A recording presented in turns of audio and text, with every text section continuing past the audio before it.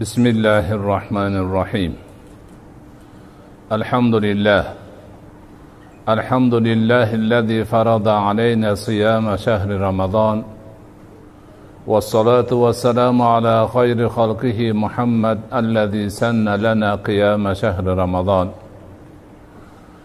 ramazon ro'zasini tutmoqni bizlarga farz qilgan. Alloh taologa hamdu sanolar bo'lsin. Ramazon kechalarini bedor o'tkazmoqlikni bizlarga sunnat qilgan muhammad mustafoga salovat va salomlar bo'lsin.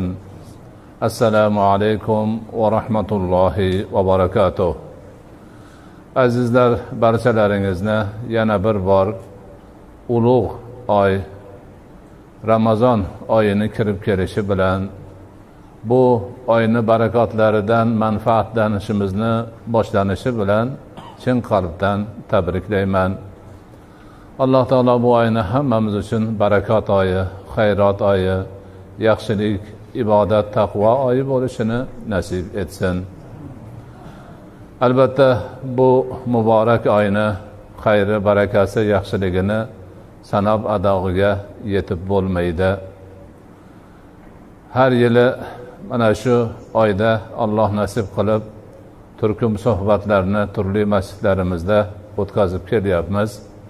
Mana bugun imomi hasan roziyallohu anhu nomlaridagi ushbu sizlarni go'zal masjidingizda ramazonni avvalida e, mana shu demak majlisni qurishimizga alloh taolo imkon berdi. Buning uchun alloh taologa beadad hamdu sanolar bo'lsin. Bu yilgi turkum suhbatlarimizni ramazon to'hfalari deb atadik. Haqiqatdan alloh taolo bu ramazon oyiga siz bilan biz mo'min bandalari uchun juda ko'p to'hfalarni jamlagan. Faqatgina biz o'zimiz oqil bo'lib o'zimiz qadrimizni bilib ana o'sha olloh bu oyga joylab qo'ygan to'hfalarni qabul qilib olishimiz ulardan manfaatlanishimiz bu dunyomiz va oxiratimiz uchun kerakli narsalarni istifoda qilishimiz kerak bo'ladi. Ramazonni siz bilan biz ojiz bandalarga alloh taolo ichiga qo'yib qo'ygan tuhfalardan biri mana shu bugunga o'xshagan ilmiy ma'rifiy suhbatlardir.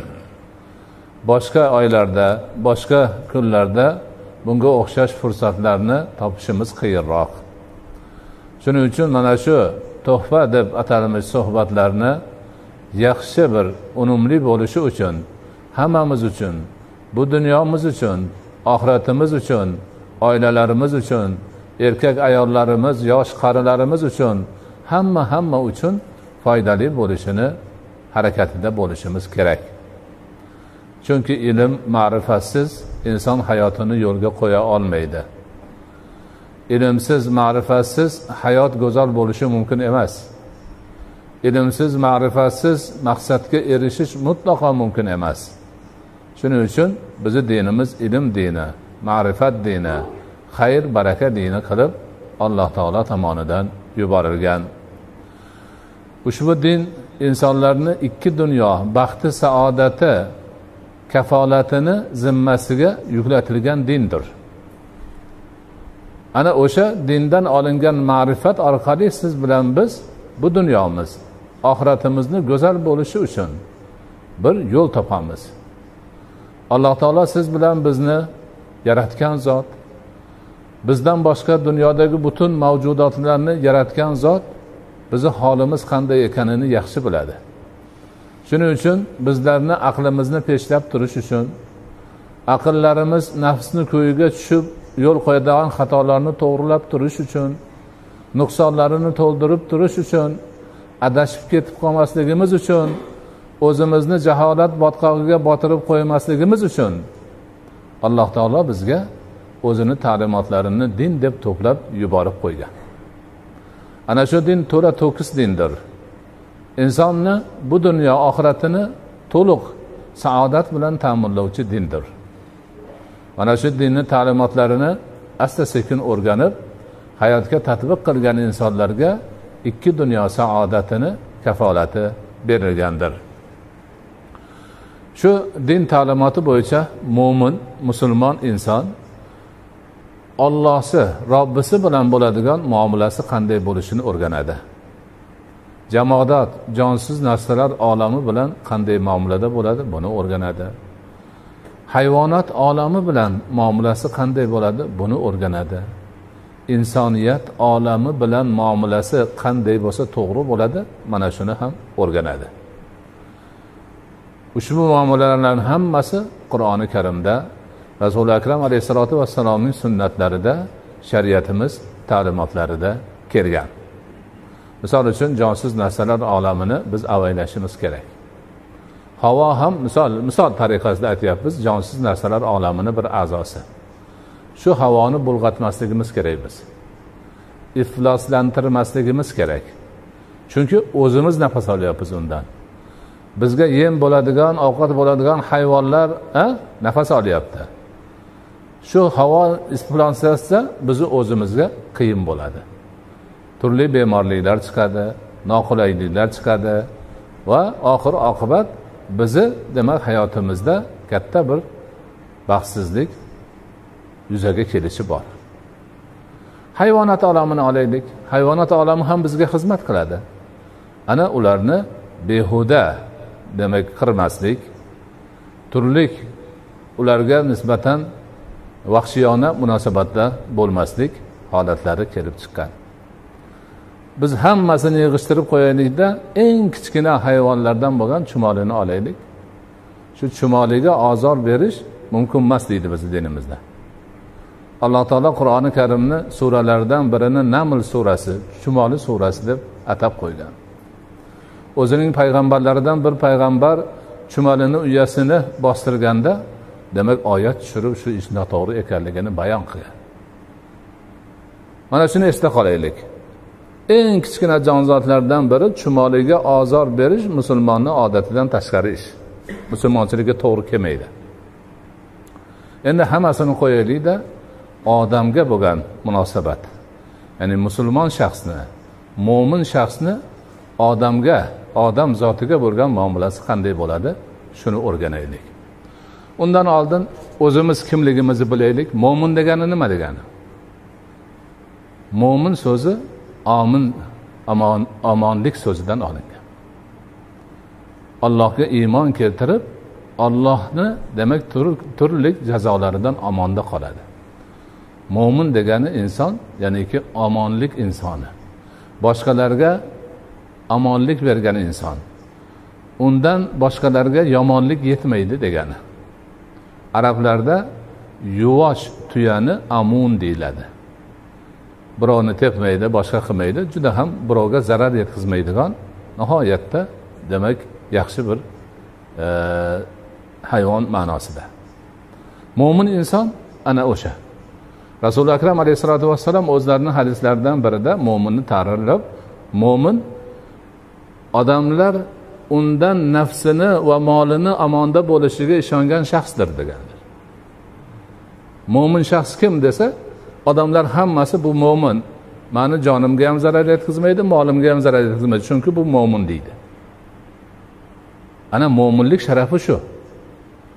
Na jamodat jonsiz narsalar olamiga na hayvonot na insoniyat olamiga zarar yetkazmaydigan omonda bo'ladigan inson mo'min inson. Musulmonchi musulmon shu. Musulmon islomdan olingan. Taslim bo'luvchi inson degani. Allohning amriga taslim bo'luvchi. Islomni ma'nosi bittasi tinchlik ikkinchisi salomatlik. Bizni dinimiz tinchlik salomatlik dini. Biz musulmonmiz biz tinchlik salomatlik insonimiz. Bizdan faqat tinchlik chiqadi bizdan faqat salomatlik chiqadi. Ana o'sha o'zi mo'min bo'lgan omonlikni manbasi bo'lgan inson. Tinchlik salomatlikni din qilib o'ziga shior qilib olgan insonni o'ziga o'xshagan insonlar bilan bo'ladigan muomalasi qanday bo'ladi? Shunga bir nazar solaylik. Avvalo inson zoti bor. Dinidan diyonatidan millatidan elatidan boyligi kambag'alligidan qat'iy nazar nomiki inson bo'lsa azizu mukarramdir. Alloh taolo qur'onda o'zini buni baralla e'lon qilib qo'ygan. Valaqat karramna bani adama odam bolasini biz azizu mukarram qildik deydi alloh taolo. Kim bo'lishidan qat'iy nazar. Ana o'sha mo'min bo'lmagan musulmon bo'lmagan ilohiy dinga ishonmaydigan faqatgina odam nomi bor odamlarni ham biz odamligi uchun hurmat qilamiz. Chunki odamiylikda bizni qarindoshimiz hisoblanadi. Ya'ni u ham odam biz ham odam. Odamligi uchun demak biz dindan diyonatdan e'tiqoddan ibodatdan hamma narsadan begona odamni ham odamlarga uchun hurmatini qilamiz. O'ligini ham tirigini ham. Endi bir pog'ona yuqorilarga ko'tarilsa ahli kitob odamlar keladi. Ya'niki alloh taolo tomonidan bir vaqtlar ularni ajdodlariga olloh kitob tushirgan payg'ambar yuborgan shariat joriy qilgan xalqlarni davomchilari hozir bor. Xristianlar yahudiylar demak ana o'shalarni ahli kitob deyiladi. Ular haligi hech narsasi yo'qdan ko'ra yuqori turishadi. Chunki ularga bir vaqtda payg'ambar yuborilgan bir vaqtda kitob tushgan. Ana o'sha ilohiy kitob ular ham iymoni bor ya'niki ollohga mo'minman deydi va shariatga amal qilaman deydiyu bizni dinimizga yurmaganligi uchun amaldan qolgan dinni demak odamlari sifatida dinimiz ular bilan muomala qilishni bizga o'rgatgan. Ular bizga dushmanlik qilmasa biz ham ularga dushmanlik qilmaymiz. Bizga qilgan muomalasiga qarab ularga chiroyli muomalani qilib ahli kitob sifatida shariatimiz ko'rsatgan muomalalarni ular bilan birgalikda qilamiz. Bularni ikkita haqqi bo'ladi bizda odamlik haqqi va ahli kitoblik haqqi. Endi undan ko'tarilsak mo'min musulmon olamidagi barcha inson zoti bizni din qardoshimiz. Ularni bizda uchta haqqi bor. Insonlik haqqi bor ahli kitoblik haqqi bor mo'minlik musulmonlik dindoshlik haqqi bor. Musulmon musulmonni birodari. Barcha musulmonlar birodarlardirlar demak o'sha musulmonlik haqlari ko'rsatilgan. Aksi ursa demak tashmid aytasan salomatlik so'raysan salom bersa alik olasan vafot etsa janozasiga borasan va hamma hammasi shariatda ko'rsatilgan. Musulmonlik haqqini ularni oldida ado etishimiz bizni mo'minlik burchimiz musulmonlik burchimiz hisoblanadi. Endi o'sha mo'min musulmonlarni ichidan yana yaqinlari bor qo'shnilar bor. Qo'shnilarni yana bitta haqqi ziyoda bo'ladi. Mo'min musulmonlik haqqi ham bor qo'shnilik haqqi ham bor. Buni ham biz ehtiromini qilishimiz kerak. Qo'shni haqqi bizni dinimizda qanday belgilangan shuni o'rganishimiz kerak.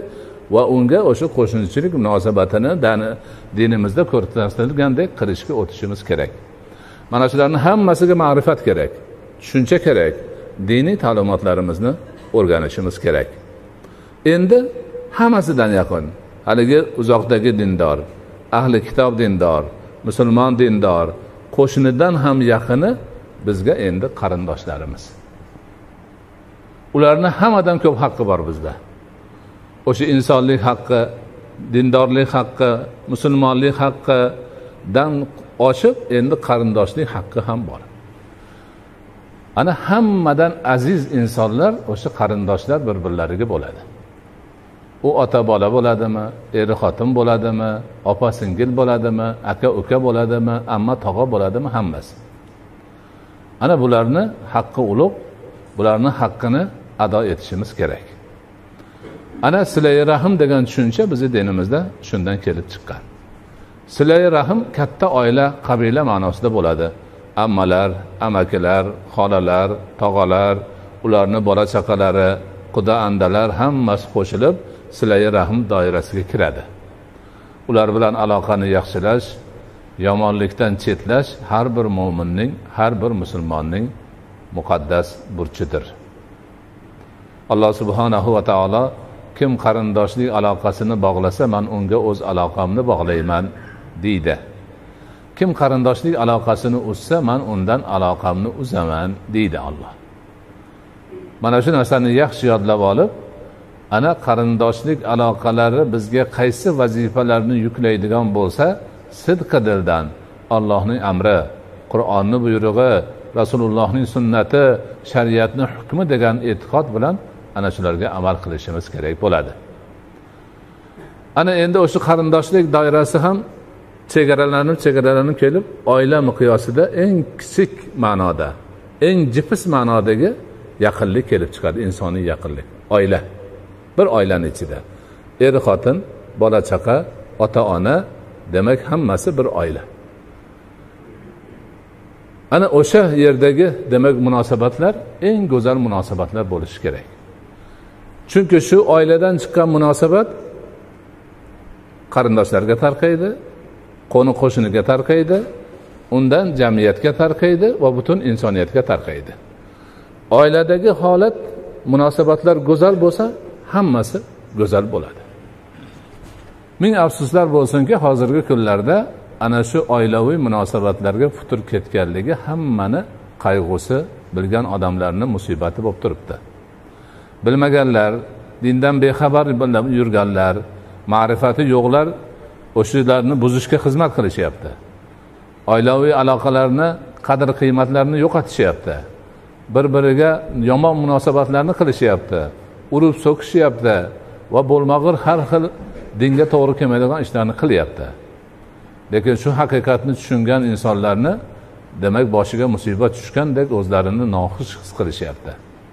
Chunki oilalardagi munosabat buzilib borishi bu katta bir balo ofat kasofatni alomati hisoblanadi. Shuning uchun oila doirasida insonlar o'zlarini munosabatlarini eng go'zal tarzda qilishlari kerak. Ota onani hurmati ehtiromi bolalarga mehribon bo'lish aka ukalarni qadr qiymati opa singillarni azizligi er xotinlarni bir biri bilan bo'lasizdan munosabat.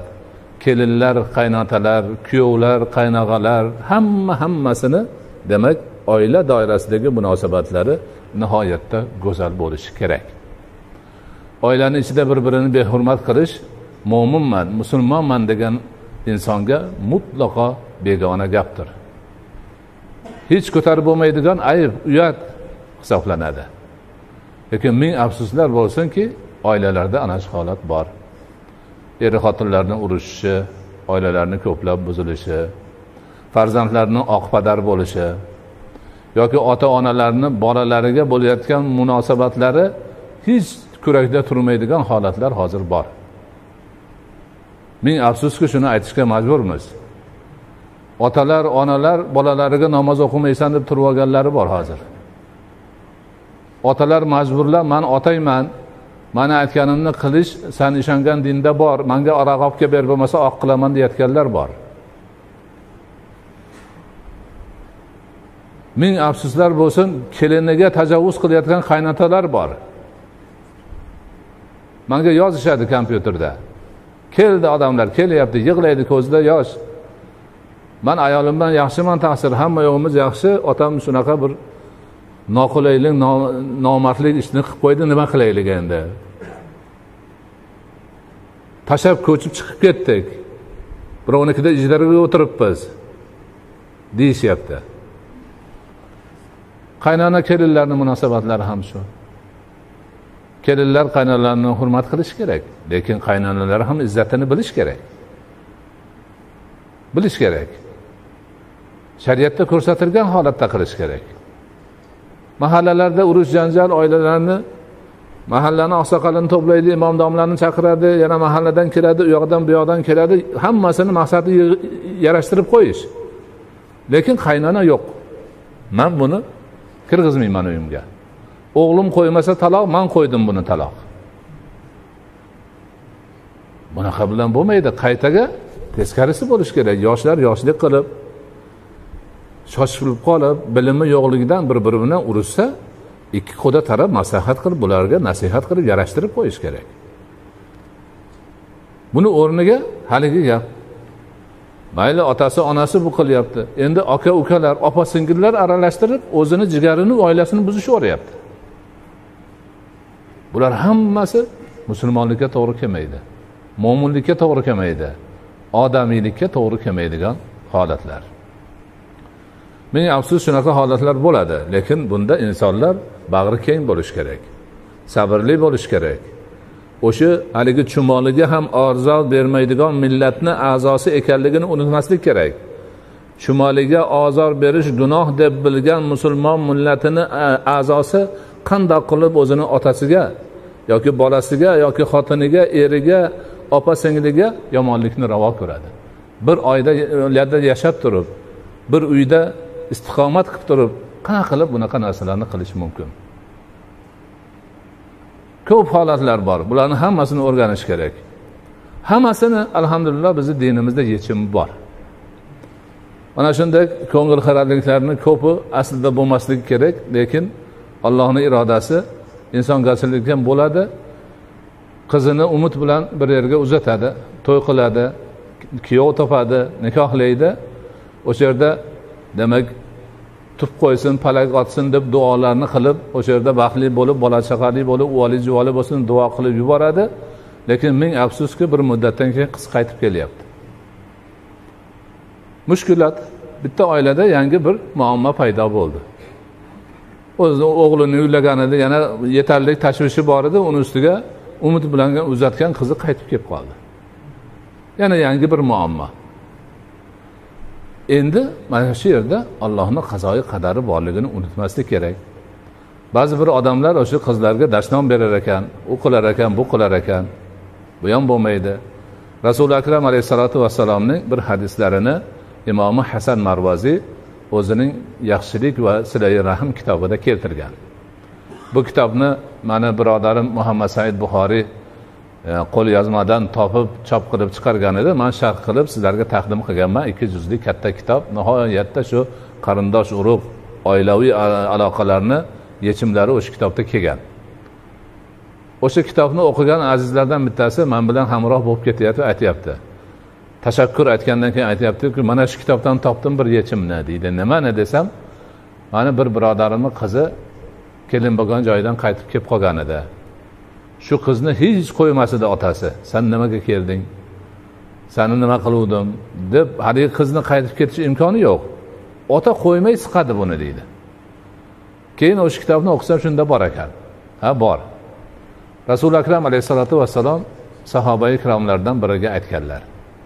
Man sanga eng yaxshi sadaqani yoki sadaqalarda ham ham savobi ko'p narsani aytaymi deganlar. Ha ollohni rasuli ayting deganlarida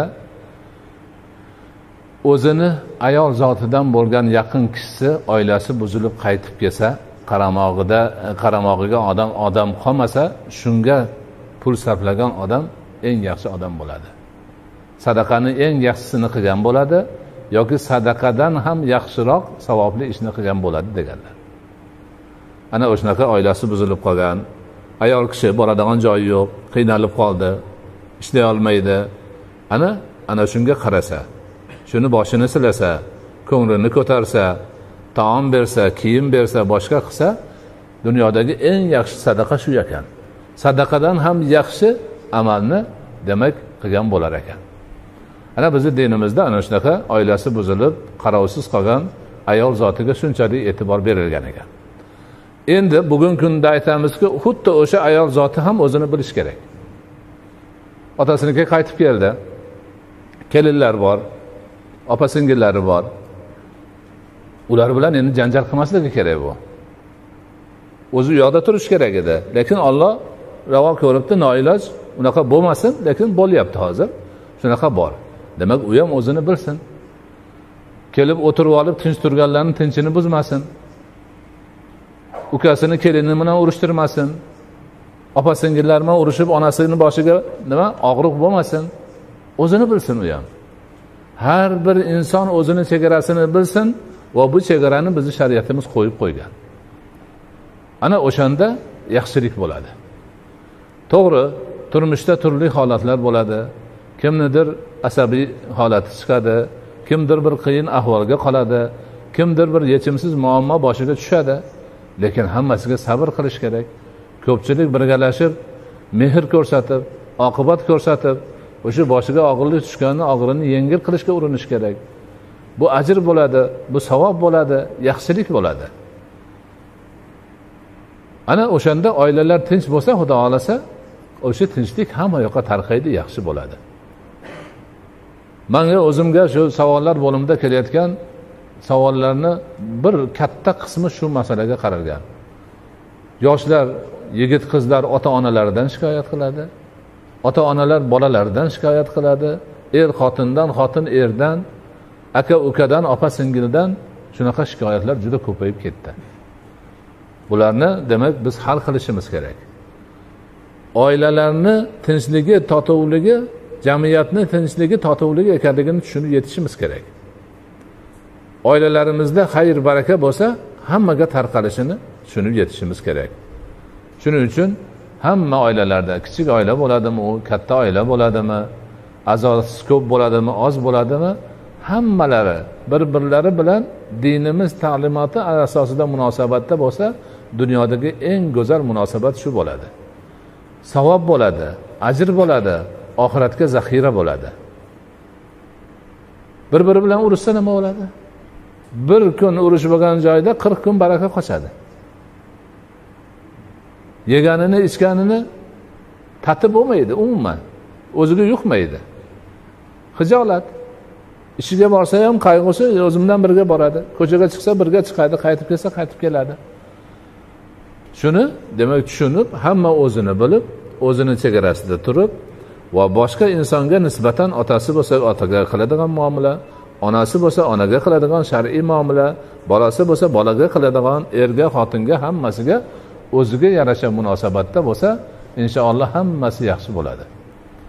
Hozirgi holatdagi odamlarni bir biridan qilayotgan shikoyatlari oilalarni ichida chiqayotgan noqulayliklar urush janjallar kelishmovchiliklar hammasi ana shunday barakani ko'tarilishi insonlarni demak qayg'uga qolishi musibatga qolishini vositasiga aylanib qoladi.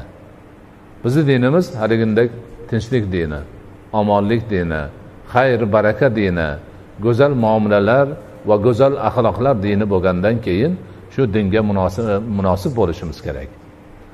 Dinimizni ta'limotlarini o'rganib ularga amal qilishimiz kerak. Ana shunda inshaalloh hamma narsa joyiga tushadi. Alloh subhanahu va taolo ushbu buyuk ramazon sharofatidan oilalarimiz insonlarimizni qalblariga muhabbatni solg'sin iliqlikni solsin oralaridagi adovat dushmanchilik kelishmovchilik noqulayliklarni hammalarini ko'tarsin. Ota onalar bolalar er xotinlar opa uka aka singillar oilani ichida yashab turgan barcha azizlarimizga alloh taolo o'zi baxtli saodatli hayot bersin. Dinimiz ta'limotlari asosida bir birlari bilan go'zal muomalada bo'lishlarini nasib qilsin. Har bir inson shariatimiz yuklagan o'ziga sharafni sharafli mas'uliyatni sharaf bilan ado etib qarindosh urug'lari oldida eli yurt oldida eng asosiysi alloh taoloni oldida yuzlari yorug' bo'lishini nasib etsin. Alloh oilalarimizni barchalariga tinchlik bergin salomatlik bergin ahillik inoqlik bergin o'zaro hurmat ehtirom bergin urush janjallarni kelishmovchiliklarni turli noqulay holatlarni bizdan yiroq bo'lishini nasib etgin. Alloh o'zingdan yolborib so'raymiz. Barcha ishlarimizni o'ngidan kelishini o'zing nasib etgin. Bizga yuborgan dining ta'limotlarini qunt bilan o'rganib ularga ixlos bilan amal qilishimizda o'zing yordamchi bo'lgin. Insonlarimizni hammalarini mo'minlik musulmonlik burchini sharaf bilan ado etishida o'zing ko'makchi bo'lgin. Oilalarimizni baxtli saodatli qilgin. Oila a'zolarini hammalarini haqiqiy mo'min musulmon bo'lishlarini o'z vazifalarini sharaf bilan ado etishlarini nasib etgin. oilalarimizdagi baxt saodat tinchlik omonlik ahil inoqlik jamiyatga ham ko'chib vatanimiz elimiz yurtimiz barcha mo'min musulmonlar ahil inoq bo'lishini baxtli saodatli bo'lishini go'zal muomalada yurishlarini nasib etgin va sallallohu taala ala xayri xalqihi muhammad va ala alihi va ashabihi ajmain برحمتك يا ارحم الراحمين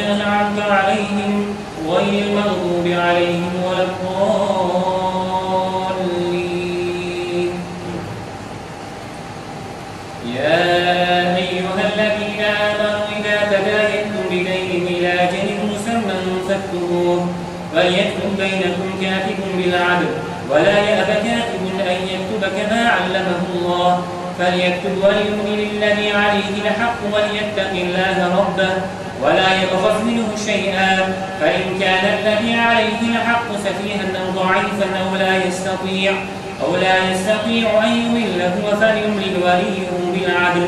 واستشهدوا شهيدين من رجالكم. فإن لم يكونا رجلين فرجل وامرأتان ممن ترضون من الشهداء. أن تضل إحداهما فتذكر إحداهما الأخرى. ولا يأبى الشهداء إذا ما دعوا ولا تسأموا أن تكتبوه صغيرا أو كبيرا إلى أجله. ذلكم أقسط عند الله وأقوم للشهادة.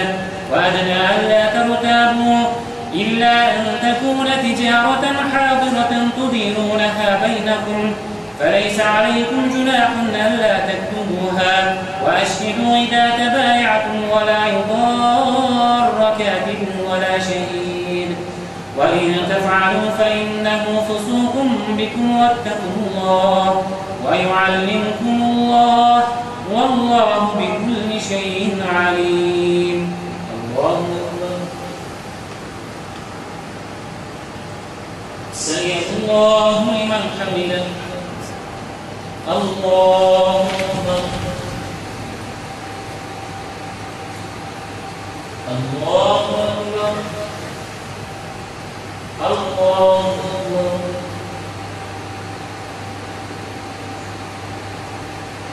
الله أكبر. الحمد لله رب العالمين. الرحمن الرحيم مالك يوم الدين. إياك نعبد وإياك نستعين. اهدنا الصراط المستقيم. صراط الذين أنعمت عليهم غير المغضوب عليهم ولا الضالين.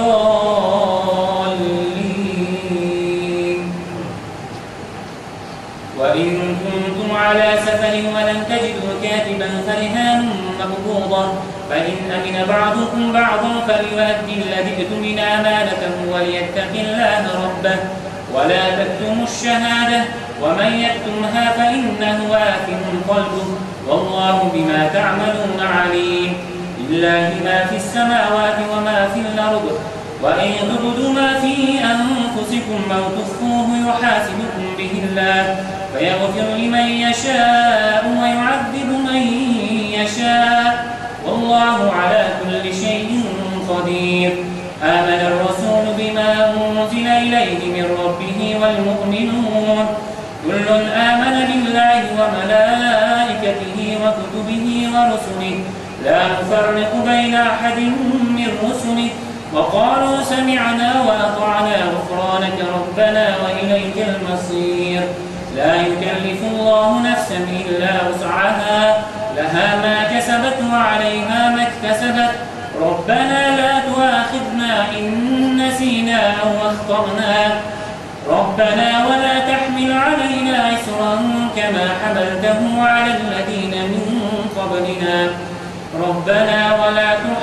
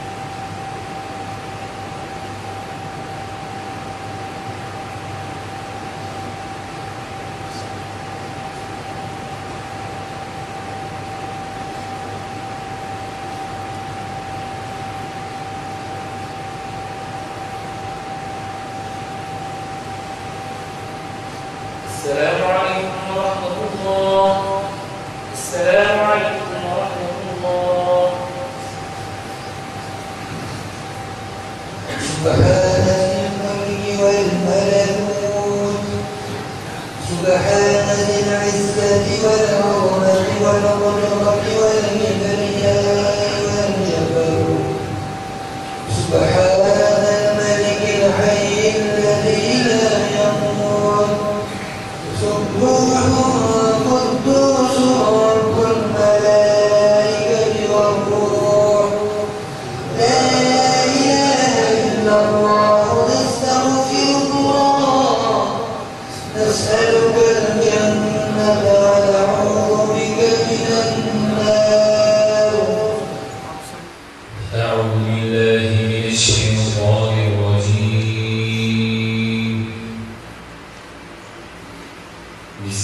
الله الرحمن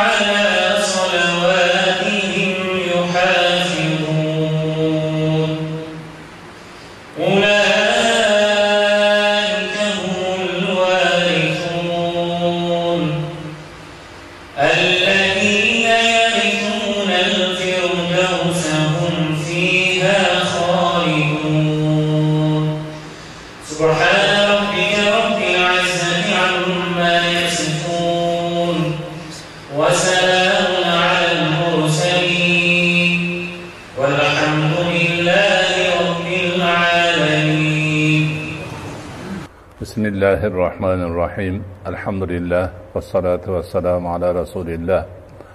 Alloh biz ojiz bandalaring o'zingni buyuk ramazon oyining muborak kechalaridan birida kalomingni taroveh namozida xatm qilaroq undan so'ng ojizona qo'llarimizni o'zingga ko'tarib umid bilan duo qilmoqdamiz. O'zing bu duolarimizni dargohingda qabul aylagin. Alloh o'qilgan qur'on savobidan o'tgan barcha mo'minu mo'minotlarni bahramand aylagin xususan bizning vatanimizdan o'tgan ushbu ibn sino dahasidan o'tgan va shu masjidda o'zingga qo'l ko'tarib duo qilib turgan bandalaringdan o'tgan barcha azizlarini alloh bahramand aylagin xususan ushbu masjidni qurib o'tganlar unda ibodat qilib o'tganlar masjidni qurganlardan ibodat qilib turganlardan o'tgan azizlarni barchalarini o'zing g'ariki rahmat soyizdayi jannat qilgin. Qabrlarini munavvar aylab oxiratlarini obod qilgin. O'zlarining iymonlari ibodatlari amali solihlarini hamroh aylab ularni yo'qlab qilayotgan bizning duolarimizni haqlarida qabul aylagin. Oxiratdagi maqomlarini yuksalishiga sababchi qilgin alloh biz ojiz bandalaring buyuk ramazon oyining kunduzlarida umid bilan tutayotgan dar- e, ro'zalarimizni dargohingda qabul aylab bu ro'zalarimizni ajr savobini ko'paytirib bergin va oxiratda barchamizga shafoatchi bo'lishini nasib etgin. Kechalari bedor bo'lib xatmi qur'onlarda qilayotgan ishtiroklarimizni ajrini savobini ko'paytirib bergin. Va oxirat bu dunyoda barchalarimizga ushbu qur'oni karimni hidoyatchi qilgin oxiratda shafoatchi qilgin alloh boshimizga soyabon bo'lib kelib kelgan ramazon oyini barchamizga muborak aylagin xayrli barakotli bo'lishini nasib etgin gunohlarimizni mag'firat bo'lib bu oyni oxirigacha yaxshi bir ibodatlarda bardavom bo'lib borishimizni nasib etgin alloh o'zingdan yolborib so'raymiz. Bemorlarimizni dardlariga shifoyi komil bergin mushkuli borlarni mushkulini oson qilgin musofiri borlarning musofirini hozir aylagin farzand talablarga qo'sha qo'sha farzandlarni bergin hojati borlarni hojatini ravo aylagin qarzi borlarni qarzini uzishda o'zing parvardigoro yordamchi bo'lgin.